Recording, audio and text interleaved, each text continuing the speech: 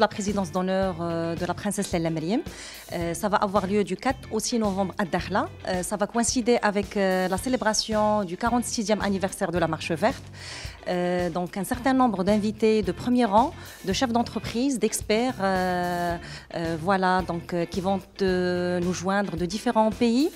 on va débattre autour de, des perspectives d'une Afrique résiliente, l'apport de la technologie pour l'agriculture, comment l'Afrique pourra tirer bénéfice du bienfait du digital et ainsi le rôle des femmes entrepreneurs dans le développement durable.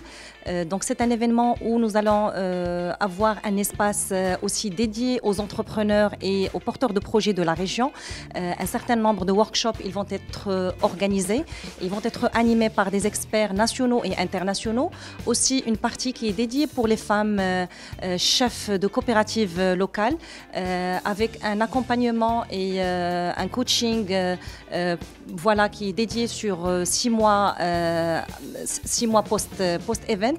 et c'est un accompagnement qui va être euh, euh, voilà, euh, géré et offert par, par une institution américaine. aussi un certain nombre de voilà d'investisseurs qui vont nous rejoindre et des délégations qui vont nous rejoindre de, de pays.